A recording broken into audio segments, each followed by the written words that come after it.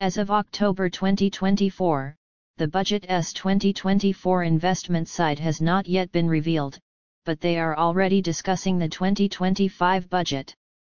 The Gazette has not yet published the amended revisions for the 2024 budget. I'm hoping they'll reveal that soon. These are Iraqi Dinar Guru updates, news, opinions, and Intel Dinar opinion.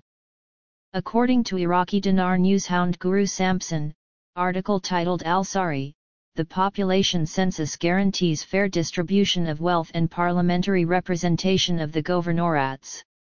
According to Iraqi Dinar Intel Guru FRANK26, report on Iraqi boots on the ground Firefly, Mr. Sami Iraqi bank supervisor friend believes that you should know something they emphatically discusses that money buoyancy, and stop the cash barters, it will be a major answer for assist with finishing the bootleg market.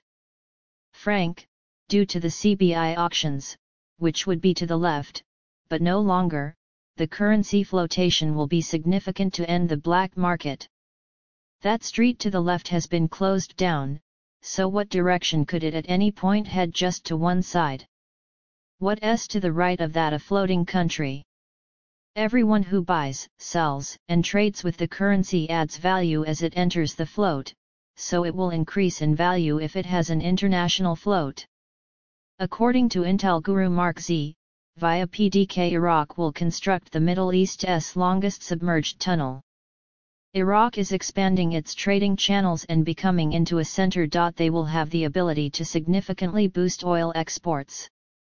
According to Iraqi Dinar newshound Intel Guru MNT Goat, article, quotes, Iraq increases reserves at IMF by 50% A gathering of the Iraqi Bureau tonight endorsed an expansion in Iraq's portion at the Worldwide Financial Asset IMF by 831.9 million unique drawing freedoms SDR, comparable to 1.45 trillion Iraqi dinars 1.1 billion in light of the conversion scale as of October 8. 2024.